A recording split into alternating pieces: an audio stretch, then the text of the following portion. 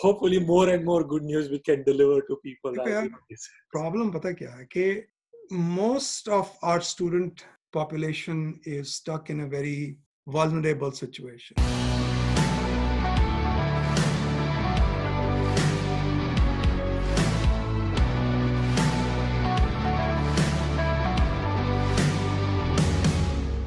What's up everyone? Welcome to another video. This is a good news video. Finally some good news on immigration.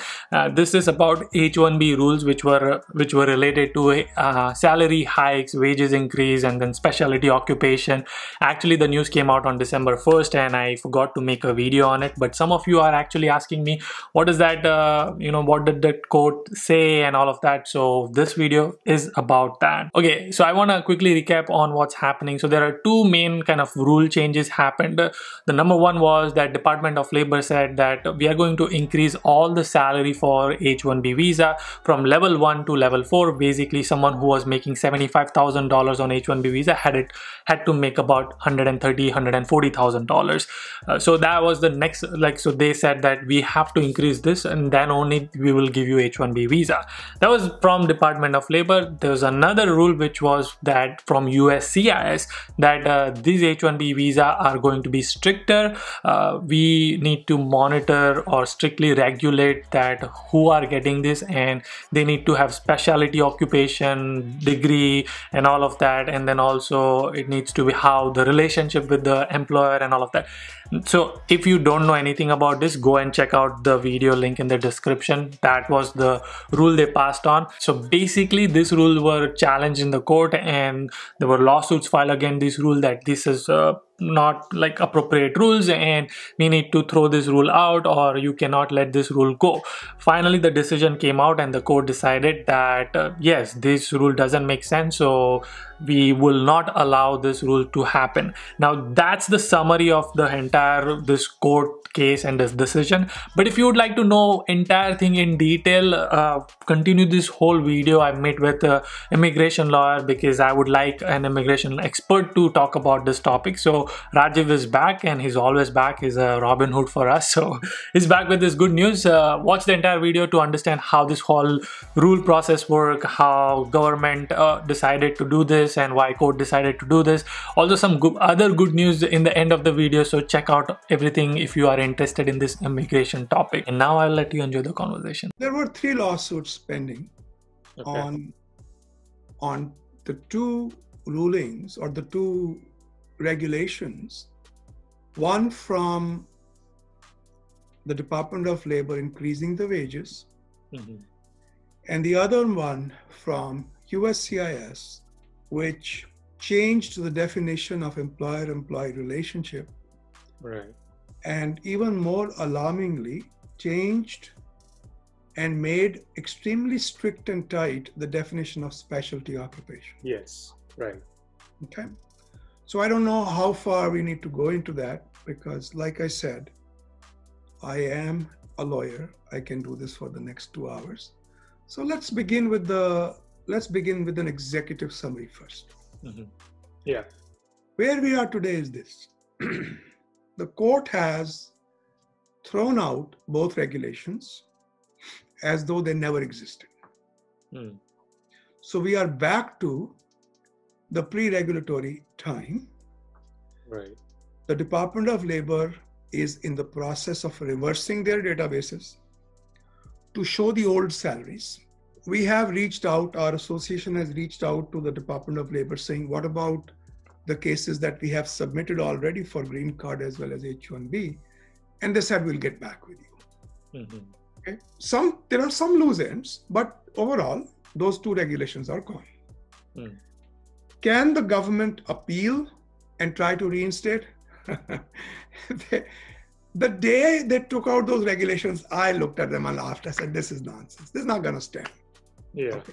I think we had a conversation about that. Right. That this, is, this is a political joke, nothing else. Yeah. Okay. It's a bad joke, as is Trump, but it was mere, mere, just basically a political stunt. Mm-hmm. Trump wanted people to see, oh, look what I have done. Right. Okay. Right. So for now, guys, there's nothing to worry about. We are okay. What the court did was there are two things in law there are procedures and there are merits. There is Yudi's shirt and then there is Yudi. When I don't like your shirt, I'm going after procedure. Mm. When I don't like Yudi, I'm going after you. Mm. So when a court looks at a decision made by the government and says, we don't like this shirt, that's the procedural ground. They said you didn't give people enough notice. You just made this regulation and you have no justification for it. Right. So that was the comment I read that uh, court the court said that uh, there was enough in there wasn't enough time because and you you did this during the covid pandemic and then um, uh, that's that was is that the main reason they denied it or like or you was have that to you have to learn to read between the lines. Court decisions. Right right right. I i mean i tried to do i did but I, so what what's your take on that? Not my take it is a fact. I've Correct. been doing this for a very long time. Yeah. So i saw indications there where they did not just dislike the shirt they disliked the guy inside the shirt. They did not just dislike the procedure. See one of the key approaches to judicial rulings in this country not so in india one of the uh, not even canada one of the key rulings here i've worked in different jurisdictions one of the key ways federal courts in usa approach things are they decide the minimum amount necessary to get the result done. They don't write expositions okay so when you can refuse to talk with Yudi just because he's wearing a red shirt, why do you need to comment upon Yudi as a person? Mm. That's what the court does. They say when we can, we don't like the procedure was bad. Okay. But I'll tell you this I would be surprised, shocked if they are able to win this case on merits. Why is that important? Okay. So the Department of Labor says, fine, we'll give you 60 days notice and comment time period. We will redo our regulations. They do it. Next time we'll attack it on merits. We'll say, okay, you gave us the notice, but now the person inside the shirt is nonsense. Okay. Uh, and I, there are plenty of reasons for that. Now, if you look at the ruling, there are many indications in the rulings where the court is making comments about the merits of the, the, the case. So, leaving that aside, I'm a little surprised that they threw out the H1B regulations on the same basis. At least procedurally, they were a little better because they gave us 30 days time Mhm. instead of no time at all. Yeah. So, nevertheless, the court did throw that out. But one observation, if you look at the footnote, court said specialty occupation definition has remained unchanged since 1991. Mhm. Abhi kya ho gaya? What happened to you now? Right. Why do you want to change this? Yeah. See, if you understand the context of why they are saying that, whenever government changes its long-standing position, Mm. they have to justify it a lot more strongly than if they are creating a new position. Right. बाबू भी वही बाबू की pant भी वही तो फिर बाबू का नाम क्यों बदल दिया भाई right. Right. when everything about the statute is the same Mhm. the definition in the statute is the same Yeah. the state of knowledge in the industry is the same Yeah. why do you want to redefine it So, so, So- uh, before you go next, uh, so is Department of Labor going to come back saying because court said that you did not give enough notice, and uh, is it is it like they are going to come back and say like here we go, you have another sixty days uh, to comment? But by that time the orange horror is out joe biden is in things are Yeah. very okay. I like the next uh, DHS chief that they have chosen. So we'll see what happens. It's still kind of early. There are going to be changes in the H1B, Mm. but those changes are not going to be destructive. At, at the most, they will change some things around, but I'm pretty sure they'll give us time to get used to the new set of regulations. Mm. So overall, like I said, where I began, don't worry. As I had told you, this is temporary. This will blow over. And if they still decide to come back, they'll give have to give us a couple of months. By that time, Mr. Biden is sworn in. The nincompoops are out. Steve Miller is gone. Uh, I think he should be tried as a war criminal. But in any case, that's what we are looking at. I don't think this is coming back in its present form. And remember, I, I now I remember we talked about this, and I told you that some idiot politician is telling the lawyer how to do his job, and he says, "Fine, you're gonna get kicked out in court. I'll do it." you did tell me that. Yep. Okay, and that's exactly. I'm just surprised it took that long. See, the the thing is, Yudi, we have a limited set of resources. As lawyers, I cannot devote 10 people, 15 people team just to do a litigation, which is what it takes to do a good litigation. Mhm. Now, I'm not sure why it took this long. This was a three day job. This was such an easy case to win. Yeah. Okay. So, but anyhow, that's where we are. Another thing that's happening in, and I don't know if you're keeping track of that, the two bills that have been passed by the House and the Senate, what is it, 36, 386 and uh, 1044, they're trying to do away with the backlog quota. And that's bipartisan, Republicans as well as Democrats. Republicans have, I mean, uh, House has passed one version of that bill, which is 386. Um, the House bills are usually, I think, numbered H386, and the Senate is S1044. What are, what are those bills? Basically, they are doing away, they are trying to find ways to eliminate the, the waiting period for green cards for Okay. these long times. Right. So, again, this was something that uh, I commented upon this this morning uh, in Economic Times, because people were very excited. Things are going to happen. I said, wait, wait, wait.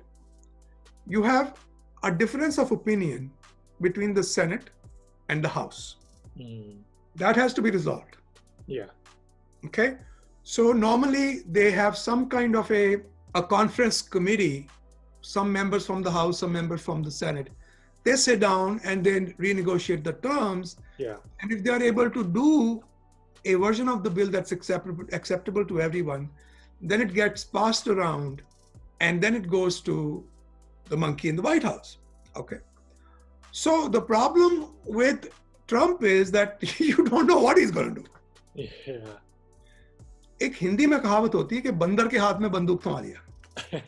Yes. बंदर के हाथ में बंदूक होता है monkey with gun is very dangerous you don't know what they are going to do they could shoot you they could shoot their neighbour they could shoot themselves in the foot you don't know what they are going I give you an example my Trump is my favourite pet P Trump says remove that what is it section 310 remove that section from the uh, from the law. That section protects people, protects companies like Facebook and even our forums from people posting bad content.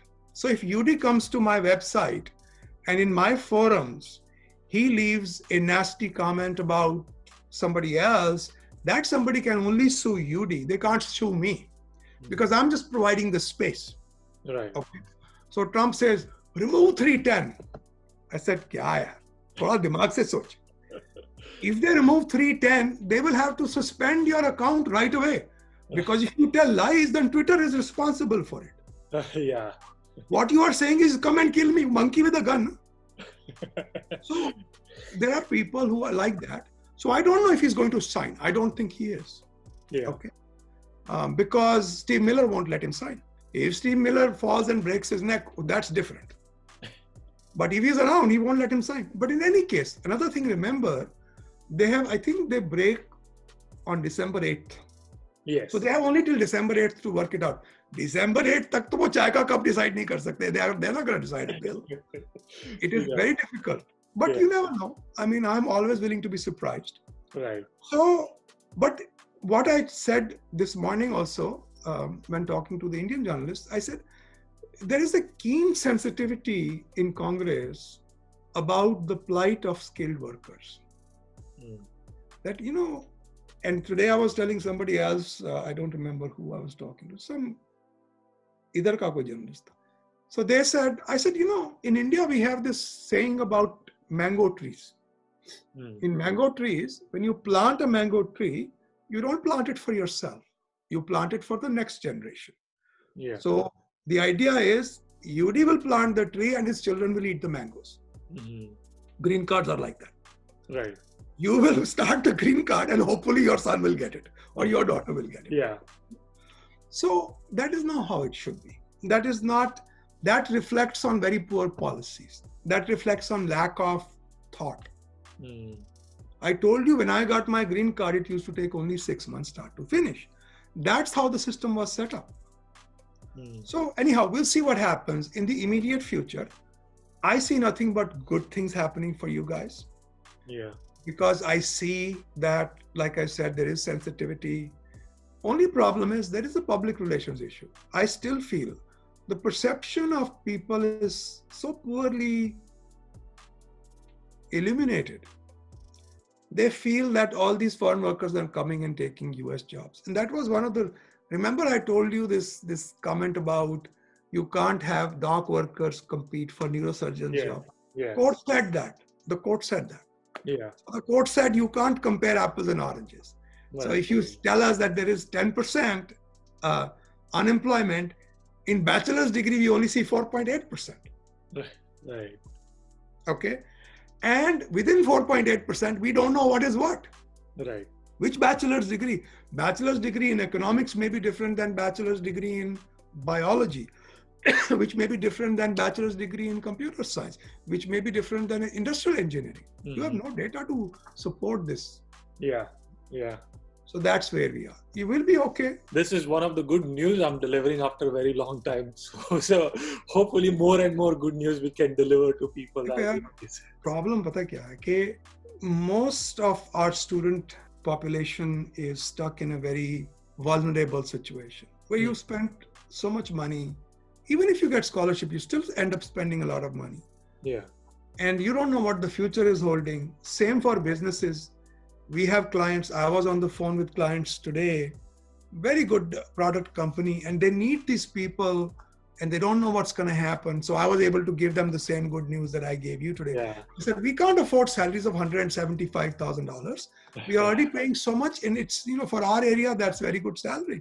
Yeah. Where are they coming up with these figures? I said, we can go to court, Yeah. but fortunately, we don't have to because somebody already did that for us. Yeah. So, overall, I think we are doing better than we were yesterday, Yes. and tomorrow will be even better. Yes. That's that's the hope. All right. Thank you again so much, and we will talk soon. Take care, guys. Thank you so much for watching this video. Very, very grateful for all the love and support. I'll see you guys in the next one. Until then, keep smiling and keep hustling. Gotta hustle every single day.